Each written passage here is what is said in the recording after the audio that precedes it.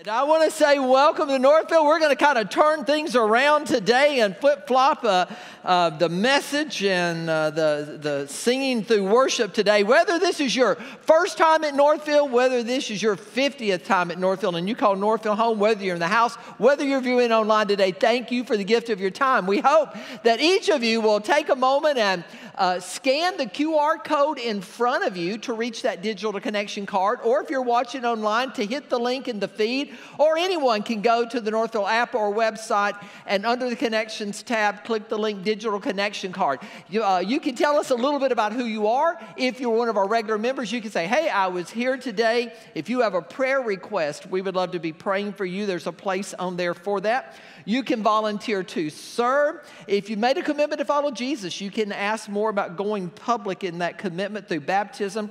And I know Mike last week talked about, and thank you again, Mike, for uh, giving me a, a week with my family at the beach. I appreciate that. I loved listening to everyone online last week as well. And, uh, uh, but as Mike said, you can sign up to be a Northfield Life Group host on there as well and find out more about life groups. You can also do a little bit of good in the world this morning by checking in on Facebook or Instagram and location tagging Northfield Church. Uh, we partner with a company called Cosley, and this month, whether that's uh, today or anytime this week doing Vacation Bible School, if you're on our premises and you check in on one of those, every check in will provide provide an hour of education for a, a, an adult in an impoverished country. So you can do a little bit of good just by checking in. And then, uh, last before our big thing this morning is next week is the blood drive. We are over 60% at capacity. There are about 24 more slots left. And uh, uh, you know, for those of you who, most of you know uh, what the, the situation with my grandson, and uh, one of the things that gave us an extra couple of days of life with him is because people gave, gave blood. Uh, Adam McDonald, who runs our website, whose uh, dad passed away from cancer several years ago, one of the things that gave him more time with his dad throughout that process was that people gave blood. It is life giving. And I hope that you will jump in and be a part of filling those extra 24 slots. You can do that online under the, uh, the, the tab that talks about the blood dive under the events tab. So I think, I hope you'll do that. Tonight starts what? VBS, that's right. Anybody care to guess how many kids we have registered? Over 400. Can you believe it?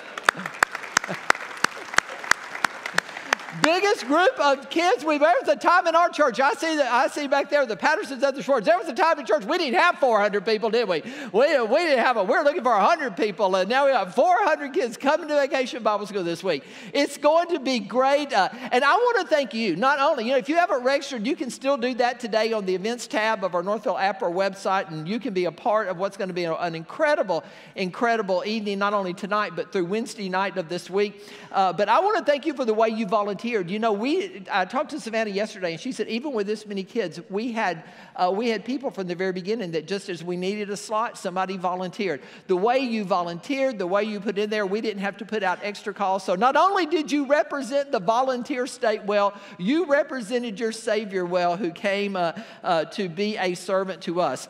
Uh, you know, in our DNA at Northfield Church is uh, uh, just community and missions. It's really uh, kind of how we said if we want to be a church in Sumner County, we want to be one who is, I call it an Acts 1 8 church. It's, uh, you know, Acts 1 8 is kind of describes how the mission work that Jesus did. He started, he told the disciples, you're going to start right here at home, but then you're going to go to community, you're going to go to your world. And uh, part of VBS, the DNA of that, is going into our world. Every year we have missions. And this week uh, we are talking about four different missions, all which stem from right here at Northfield Church. Hope Springs, that does work work in Niger, Nigeria and Chad, Africa. Agape to the Nations that does work in the Dominican Republic, Haiti, and Uganda. And then there's Core Foundation that does work in uh, Haiti again. And then Allie Hudson, Northfield member, who does work uh, as a missionary in Mexico. All of those, the Farbers and the Brattons with Core, uh, Lee Hodges, one of our shepherds with Hope Springs, and Charlie and Kinsley Smith with Agape to the Nations. So your children are going to have a chance to be a part of hearing about some of those during, the, uh, during this week and being able to give back because we want that DNA to not just be a part of what uh, we as adults do, but part of what our kids do. So I would encourage you, we're asking every child and every adult that comes who can uh, to bring seven bucks. And uh, you can bring it and you can give it there with your child uh, uh any night this week, or you can go online with your child if you want to, and you can push the VBS missions button. But that will allow us to make a difference, allow your children. I would encourage, even, you know, in light of the, the message that we had a couple of weeks ago about not building up treasures on earth, but building up treasures in heaven, uh, to be a part of helping your child. Maybe, maybe it's an extra chore. Maybe it's a little job that you can give them. Maybe it's a lemonade stand uh, where they could help raise seven bucks some way and then learn what it's like to turn around and pray over that and then be able to give that. Uh, so uh, if, if we all do that, I know you got an email that said eight bucks, but that was before we had over 400 people registered. Now we have over 400 people. It's seven, so 600 people come tonight, it might be down to six bucks. Who knows? Uh, we're just going to go there. Anyway, uh, today we are beginning the end. Notice I didn't say ending, but we are beginning to end this upside down series that's been about uh, this first and most famous sermon of Jesus called the Sermon on the Mount. It's found in Matthew's chapter, Matthew chapters 5, 6, and 7, and today we are beginning chapter 7. And remember when Matthew first gave this uh, or wrote these words down, there were no chapters and verses like we had today. It was just one letter written to the Jewish people. And as chapter 7 opens up, our chapter 7, it is really just a continuation of what's been going on in chapter 6, what Jesus has been saying. His message about how kingdom people live. If you remember from chapter 6, Jesus has given them some spiritual disciplines, or as he calls them, acts of righteousness that he assumes his followers will take up in their life. Things like praying. So he says, when you pray. He assumes his followers will be people who fast. So he says, when you fast. There will be people who give. He says, so when you give. They are just things that people who are kingdom people do that help identify and describe them. And then in the middle of chapter six, he kind of reminds us of some things or behaviors, uh, not that kingdom people do, but that kingdom people try to push out of their lives and, and get rid of. Things like kingdom people don't store up treasures where? On earth, that's right, they store up treasures in heaven. Kingdom people don't try to serve two masters, they have a heart and a throne for one. Kingdom people, as Mike said last week, they don't have a heart of worry and anxiety about what they're going to eat or wear or even about tomorrow. They live kingdom lives, learning to trust in the king for those things. And that's where chapter six ends. And chapter seven opens up with that same theme of continuing to talk about behaviors that kingdom people try to push out of their lives. Not only do they replace worry with faith, kingdom people also replace judgment with love. You may have heard the story about the business owner who was born with no ears. He could hear, but he had no ears.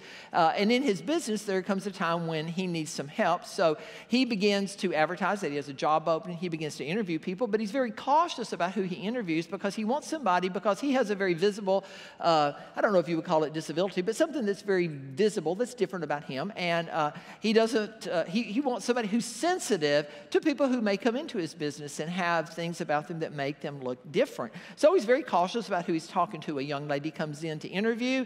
She goes through the interview. She does pretty well in the interview. And at the end, uh, he gets uh, uh, down to it and he, and he, says, Well, one last thing I want to ask before you leave. Uh, did you notice anything about me? Well, she kind of quickly and rather harshly and firmly said, Yeah, I noticed that you don't have any ears. And he said, Well, you're right, but that's pretty harsh. And I'm trying to hire somebody who, you know, is a little bit kinder, who just doesn't put it out there right at the beginning. Well, uh, next, a young man comes in for an interview. And at the interview, the, at the end of the interview, the business owner asks the same questions. Well, did you notice anything about me? Young man kind of flippantly said, Yeah, man, I, I did. You ain't got no ears. I tried not to stare, but it was hard. I mean, I was looking the whole time. You must have noticed that I was staring. He said, well, Yeah, I noticed that you were staring. And, and I'm really trying to find somebody who that's not the first thing they notice. Well, pretty soon, a third person came in for an interview. And it was a good interview. And at the end, the business owner again asked the young lady who was there in front of him and said, Well, did you notice something about me? And she goes, Well, uh-uh. was I supposed to?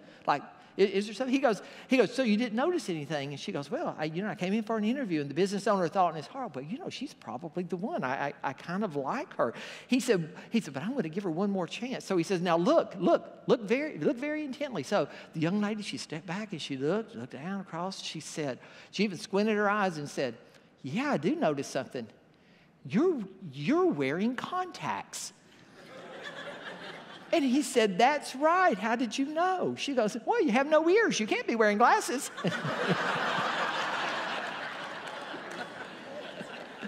uh, and don't you love those people who the biggest thing you've got going on is not the first thing that they see, or, or, at least call out, which may lead us into what Jesus is saying in Matthew chapter 7, verse 1, where he begins to open up the dialogue with these words Do not judge which just might be the most quoted scripture among two groups of people those who follow Jesus and those who don't. And probably among both groups of people, most of them will be saying, I think the Bible says that in there somewhere. There's, I don't know, I don't have a clue where it is, but there is something in the Bible that says, do not judge. Well, now you know where it is. Matthew 7, verse 1. First sermon that Jesus gave. And James, the brother of Jesus, in his book, is going to repeat the very same thing. Most people don't know where it is. Now you do. We just know that it's in there. And everybody likes to quote it. And to be honest with yourself, it's a very handy scripture to know, especially if you want to do your own thing in your own way and not have anybody say anything about what you're doing. You can always come up with, well, the Bible says, do not judge. So guess what, dude? You ain't the judge of me.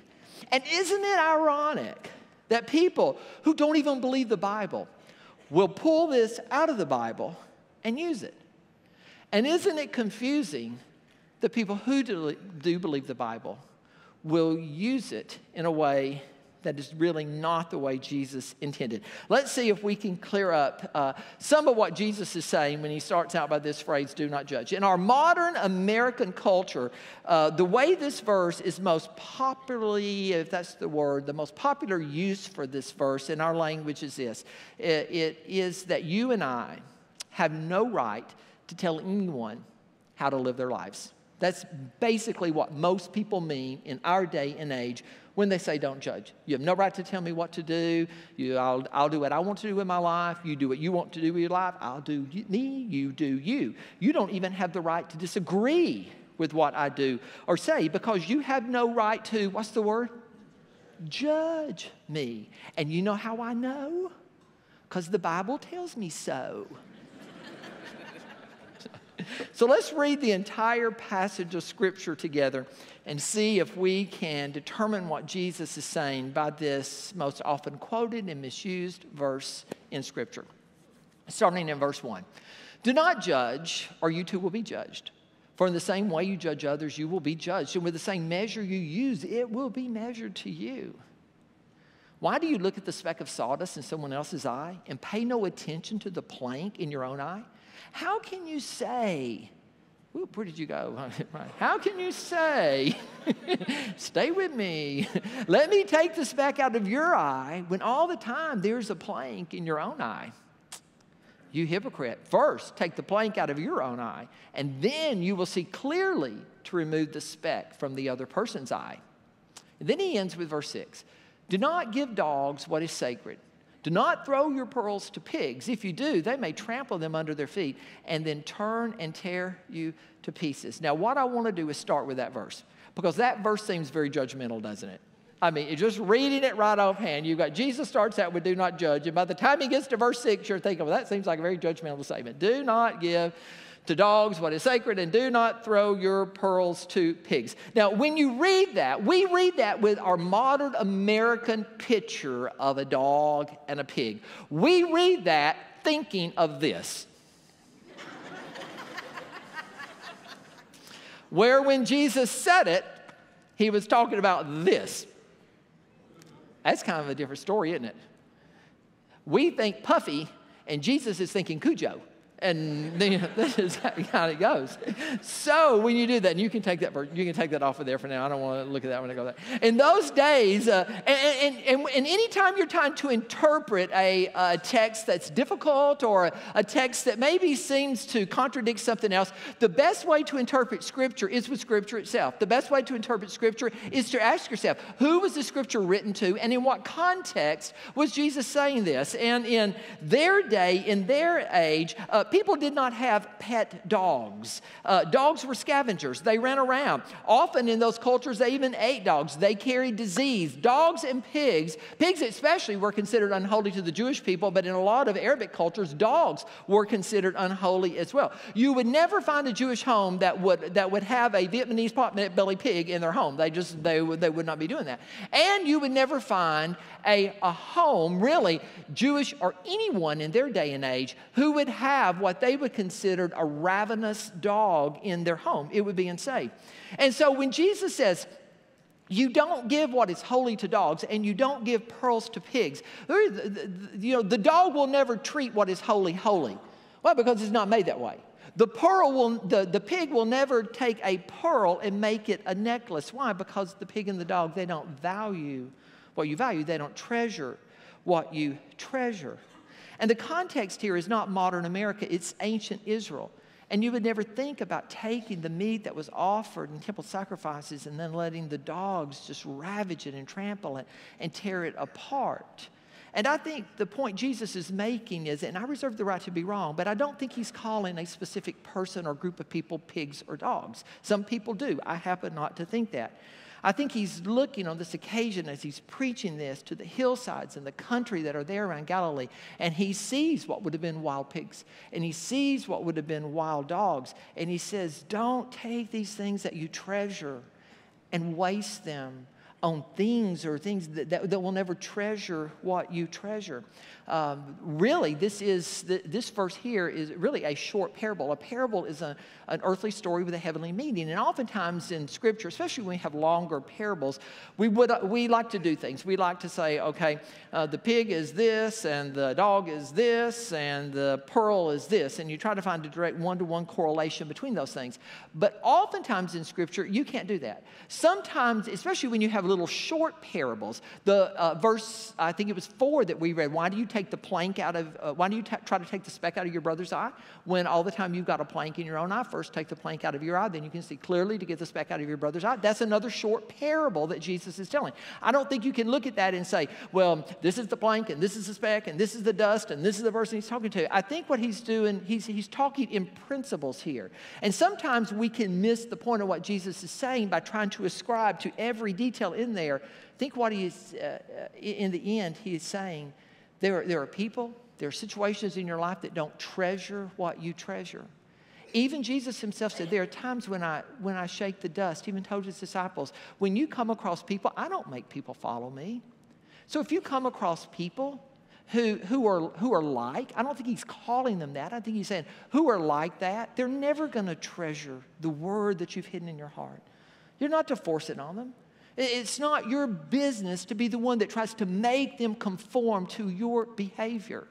Let them be what they're going to be. You treasure what you need to treasure. Anyway, that's my short, take it for what it's worth, commentary on that verse. Let's back up and let's start uh, at verse 1 going forward. All of that begins uh, with these words of Jesus Do not judge.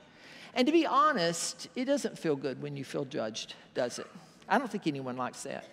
And perhaps the number one thing that, that I hear, maybe you hear it as well in Christianity, things that drive people away from Christianity, is often non Christians feel that Christians can be judgmental and sometimes narrow minded. Have, have any, has anyone ever heard anyone say that? I, I see a lot of head shaking yes there. And again, if we are honest with ourselves, aren't we all, and I'm going to put us all in a boat here, Christian and non Christian alike, aren't we all a bit judgmental? I think sometimes it's human nature to be that way. We observe someone's behavior, we look at their appearance, we look at the way they talk, or maybe the way they act, or maybe the way they dress, and we make a judgment about them. Several of our young adults were uh, at our home last night, and uh, the subject of tattoos came up because every one of them had a tattoo. And uh, like when I was their age, nobody that was my age or their age I knew of had a tattoo. And uh, we were looking at it, and, and my wife just flippantly said, you know, they said, you need to get a tattoo, Linda. And she was like, I don't think I get it. I don't think they look good when you're old, to which my son would say, we're already old. So anyway, I don't know that it matters. But, but uh, one of the young ladies that was there said, well, you know, everybody, everybody our age has a tattoo. So when we get old, we're all going to look bad together. And uh, we all laughed about that. And I thought, you know, in, when I was growing up, I remember being, being a teenager, the only person, only people who had tattoos were who? Sailors and prisoners. That was right. If somebody had a, if somebody had a tattoo, they were either fresh out of the Navy or fresh out of prison. You didn't know which one they are, so you know you kind of stayed away from them there.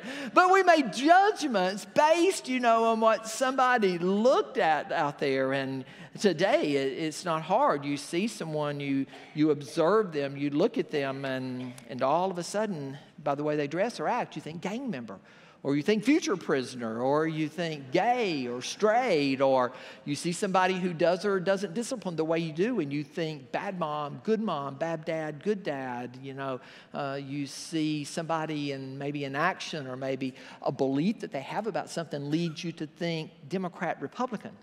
We see someone and their behavior and instead of seeing their dignity, now, now I'm going to say something that I hope you don't have any pushback on, but if you do, stay with me you see somebody, you see their behavior, and instead of seeing their dignity, and here's the part whether you like or dislike, or agree or disagree with the behavior, is going to be irrelevant to the point Jesus is making.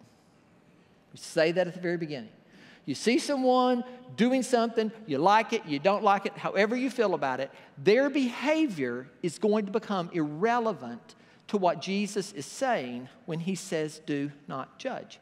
We see somebody, whether we like or dislike their behavior, uh, we tend to, if we're not careful, write them off and they become, well, that person. Or you put them in a category, those people. Or you know their type, their type. That's just their type. We put them in a category, and without realizing it, we almost draw a line. And we put them over here, but where am I?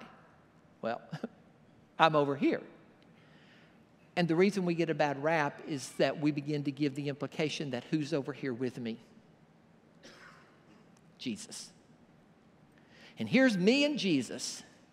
And all of a sudden, I'm acting or living or thinking in a way that when people are looking at me, they think I have pitted me and Jesus against the people on this side of the line or the people I perceive to be on this side of the line. And what I think Jesus is teaching or going to teach in this uh, short six verses that we have read is that is, that is not the way he wants people who belong to the kingdom of God to behave or to act to anyone, let alone to each other. So, what does Jesus mean when he says, do not judge? Some people read that and they say that, well, Christians aren't to make any evaluations about anything or any kind. We can't say anything good or we can't say anything bad about anyone's behavior or actions or we can't be critical in any way. Is, do you think that's what Jesus means? Well, if it is what Jesus means, he breaks his own law in verse 15. Because by the time you get to verse 15, Jesus is going to look and he's going to tell the people, beware of false prophets. Now, how do I know who's a false prophet? Well, I got to make a judgment about him, don't I? I've got to make an evaluation about them. I've got to determine something. And how do we usually do that? How do we usually make determinations about that? Well, it's usually, isn't it, by the way that they act, what they say, what they do.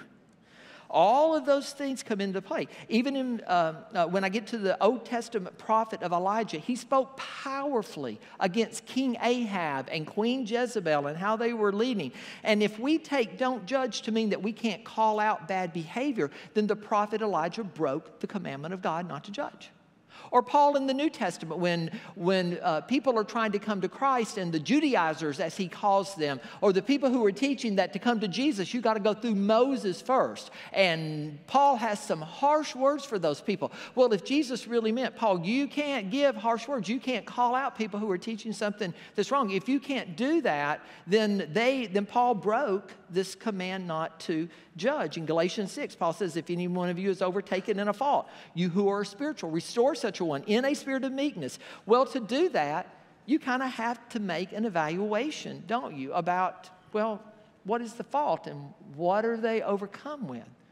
Or if I could take it away from Scripture and just bring it to now. Think about it this way if don't judge means that I can't say anything or speak out about anyone's behavior or what anyone wants to do, then I've got some questions. Can a teacher really correct a student or grade a paper without breaking that law?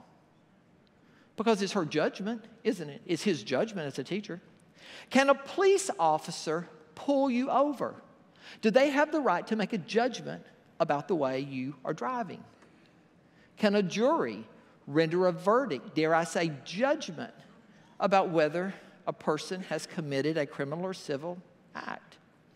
If I can't say anything about what you believe or write, then someone in a, professor who would assign you a paper to write, do they have the right then to judge the quality of that paper at the end?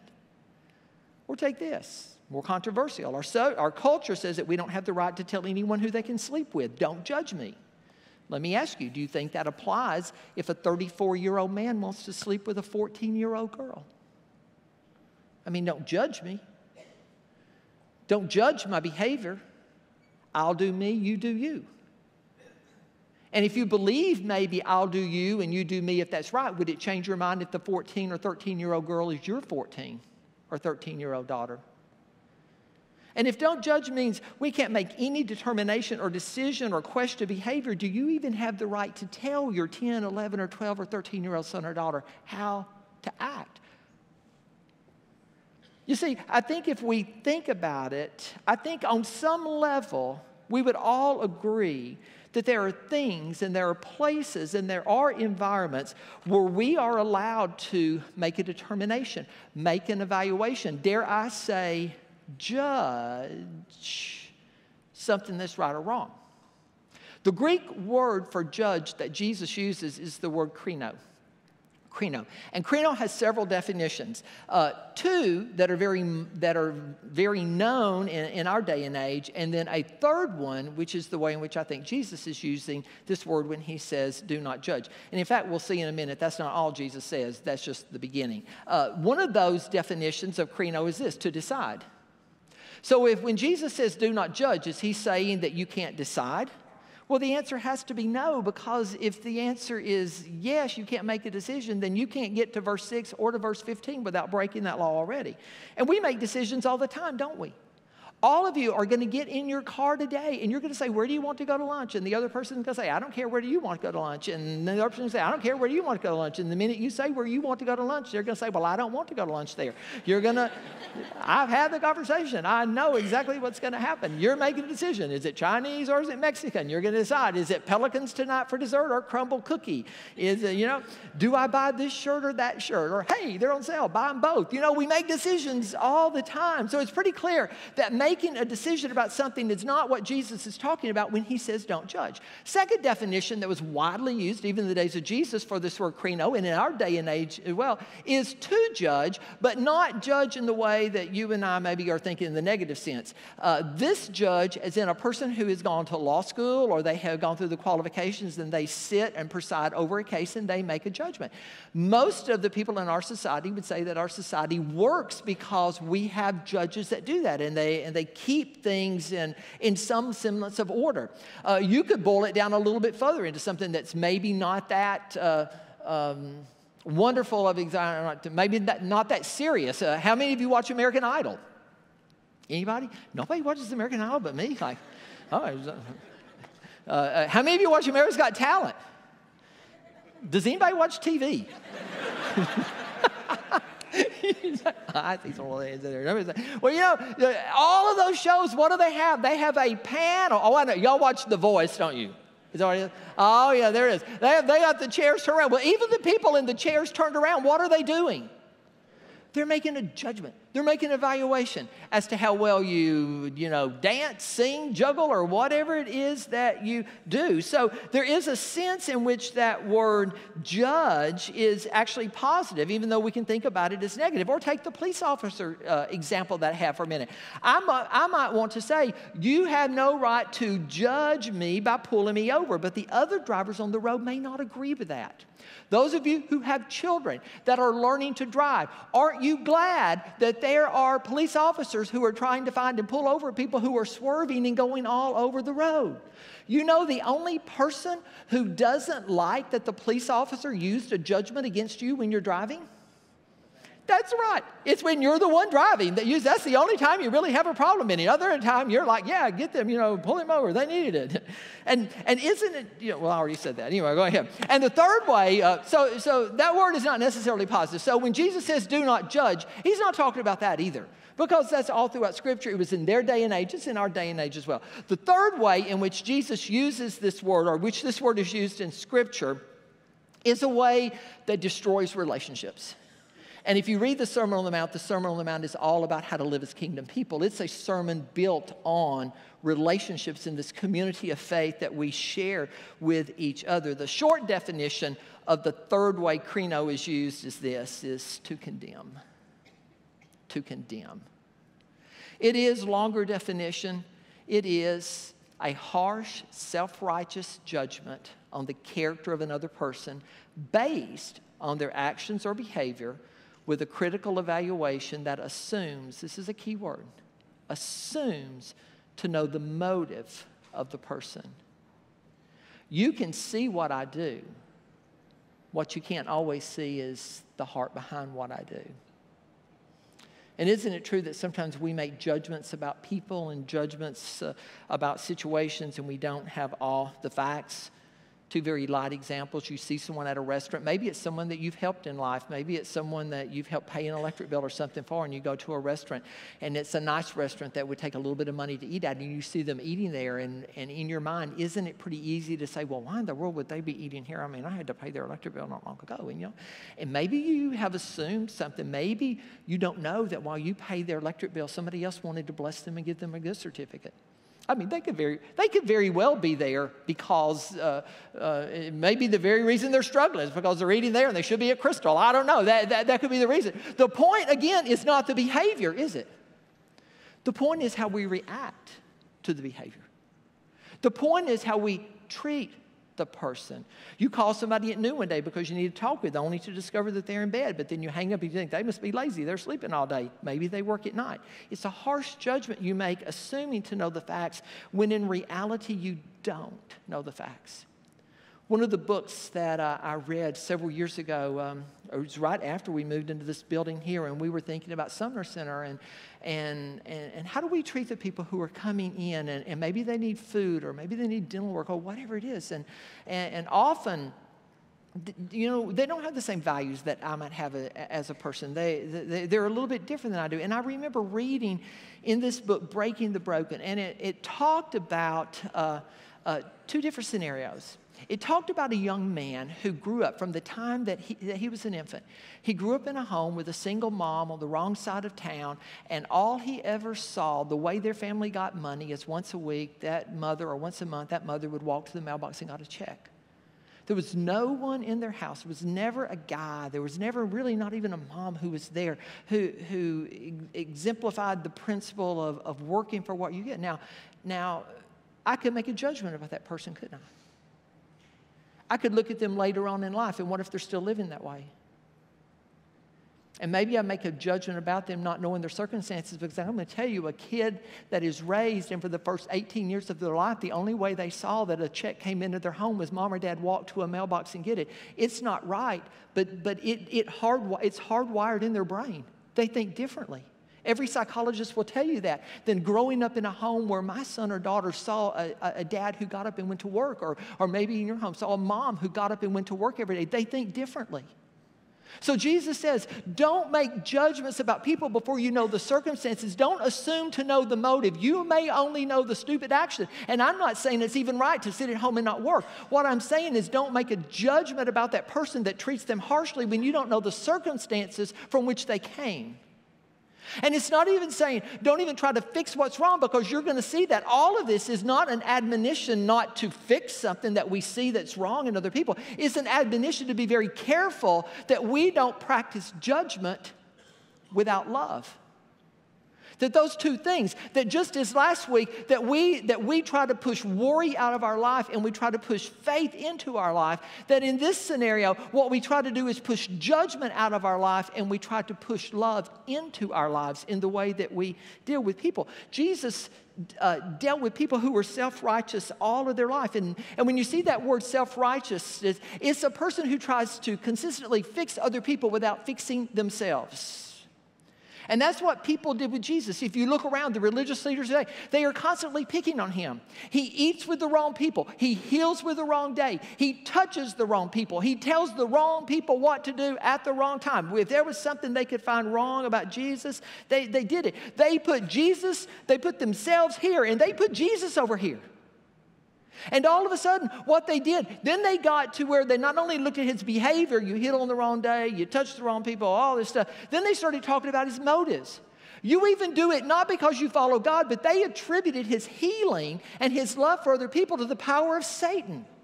Isn't it strange that when you begin to develop a heart that wants to assume things about people, you can even get to the point where you can see somebody doing something good and attribute that to the power of Satan instead of the power of God in their lives?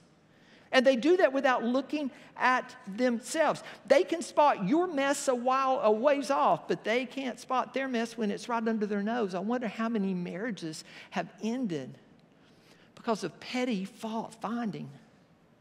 Because I kept looking at what was wrong with you and I never addressed what was wrong with me. I wonder how many parents are alienated from their son or daughter because of the person their son or daughter chose to marry and they, they caused such a friction there. Or alienated from their children because, of, because their children felt they could never really get it right with mom or dad.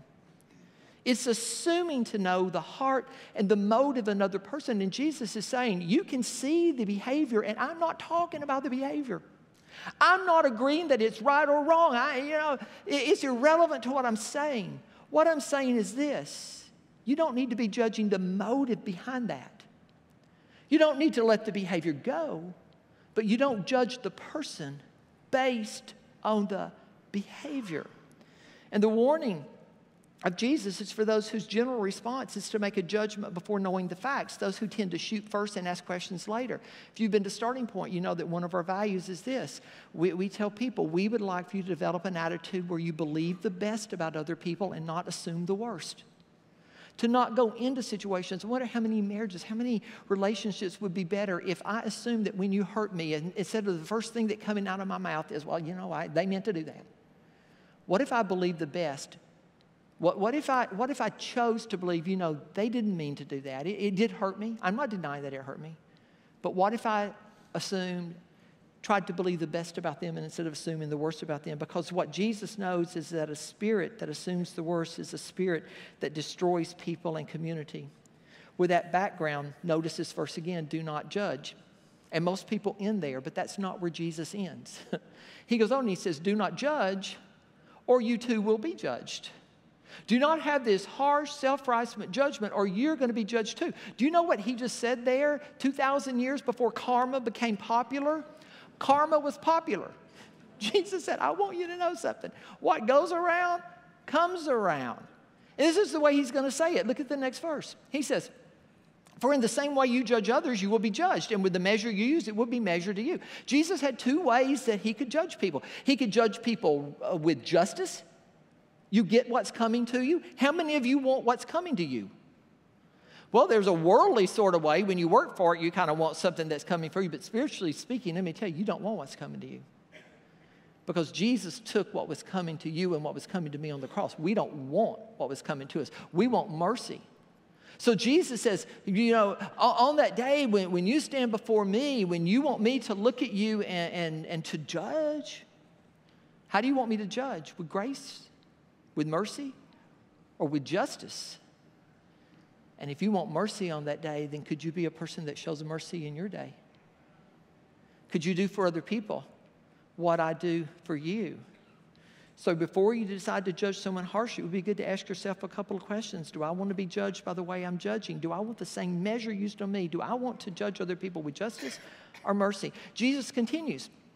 Why do you look at the speck of sawdust in someone else's eye and you read that and you're almost like, yes, yes, Jesus agrees with me. There was something wrong with them.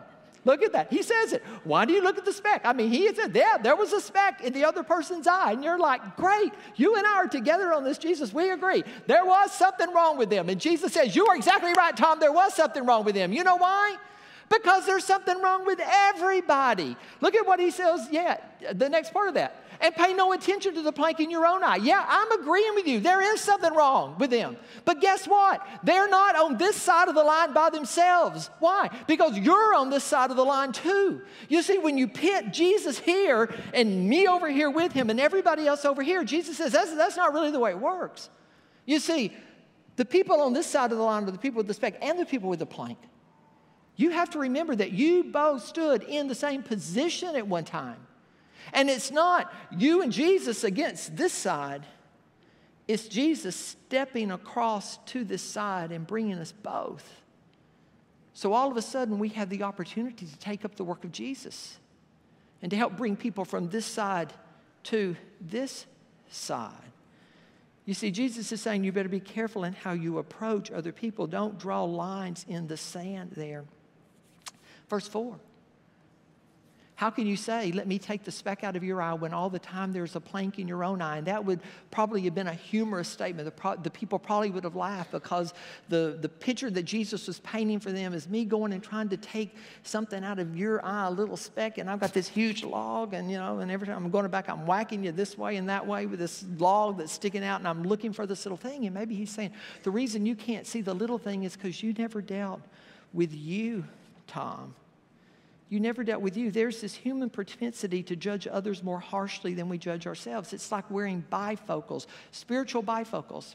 And through the bottom that's meant for this close up stuff, well, we see the close up stuff, and it doesn't look nearly as messy as the stuff I see through the top part because that's when I begin to see everybody else. And it plays out in our life like this. We take the same characteristic, but it just wears better on me than it does on you. I am firm in my decision making, but you are hard headed. Did you know that? Well, I reconsider my options. You, on the other hand, went back on your word. I sometimes focus on several things at work. I have the ability to multitask. You, however, pay no attention to what's going on parents, kids, I accidentally spilt my drink. You need to be more careful. I have been known to go in excess of the speed limit and move into the faster lane at times when it's appropriate. You, buddy, I need to talk with what moron gave you your license. You were changing lanes and switching back and forth. My children, well, they are active and they can get a little bit loud at times. Your children, have a discipline problem and are going to wind up in juvenile court if you don't do something about it. Your children will probably have a tattoo. That's what's going to happen. and now mine does. Anyway, so, I won't tell you which one, y'all have to find that out.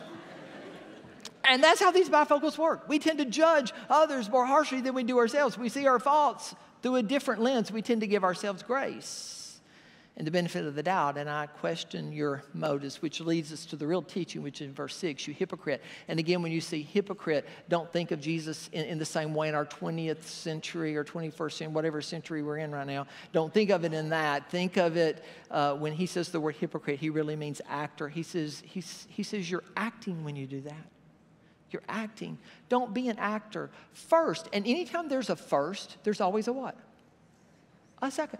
He says, first take the plank out of your own eye, and then here's second. See, he doesn't say you don't help the person. He says, you, first you take a good look here, and then you will see more clearly. You see, when you work on this stuff with God, it just gives you this vision to see more clearly how to remove. You see, it's not the removing, it's often how we remove that make people think we're judgmental. When we talk about their motives and their heart to remove the speck from the other person's eye. I'm going to invite the band back up because we're going to end in uh, worship today. And while they're doing, the moral of the story is not leave the speck in your brother's eye alone. The moral of the story is to get rid of the plank in your own eye and then go lovingly to your brother. You see, it was never wrong to go to your brother or sister and say, Could we talk? Are you struggling with something? I want to help. We all need that person in our life that we allow to come into our lives that will help us on this journey, that will call us out. Because oftentimes, you know who's the last person to see the plank?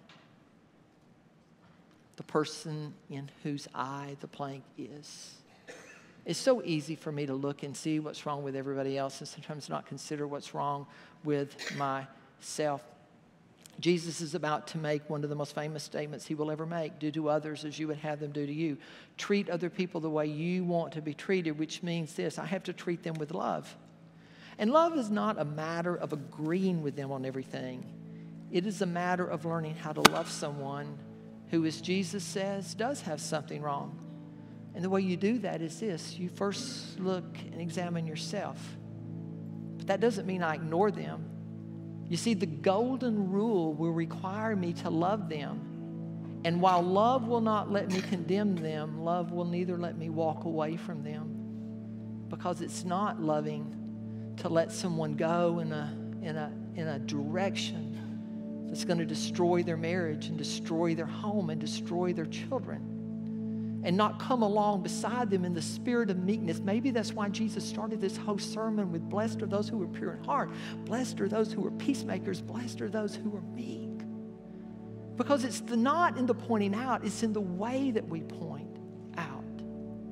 It's in the trying to fix them without working on me, which I think is why Jesus said, examine yourself first.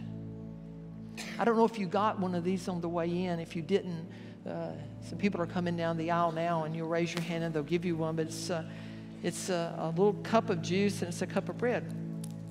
And you know what it says every time I break, uh, take this cup and take this bread? It is an announcement to the world that I have messed up. Because you see, it's the cup and it's the bread of forgiveness. The only one in the world who had the right to judge me harshly the only one in the world who had the right to condemn me, chose instead to die for me. And every time I take this bread, I, I, am saying to God, God, it was never me and you over here against them. It was really me and them over here together, and you were here. And what you did, instead of judging harshly, instead of condemning, you stepped across the line with us and you died for us. And together you sought to pull us back in this direction. So as you take the bread this morning, I hope that you remember that the one who could condemn didn't. As you pull back that second layer, and you take the cup which represented the blood that he shed for us. It's a remembrance that the one who could have made us pay the price for our sin paid the price himself for our sin. It's remembering and it's being thankful for a God who could have but chose not to. It's not unloving to talk to people. It is unloving to talk to people in ways that are hurtful, in ways that cry out, and seek to assume you know their motives when you don't. You first work on yourself, and then you go lovingly to them. Maybe it's why Jesus came full of both grace and truth. Truth, you know, grace, if, if you give a load of truth without grace, it makes us judgmental. And maybe that's the why John said he came first full of grace. Because if you have a lot of grace for other people, well, often it makes the truth that you're about to tell them a little bit easier to swallow when you're walking beside them. Father, I thank you. Thank you for the way that you love us. Father, you loved us through our messiness. And I thank you, Father, for the ways that we're going to worship you in just a moment. Father, I, I pray the words of the song we sing. I was a wretch. I remember who I was. I was lost. I was blind. I was running out of time. Sin separated. The breach was far too wide, but from the far side of the chasm, you held me in your side and you made a way across the great divide, left behind heaven's throne to build it here inside.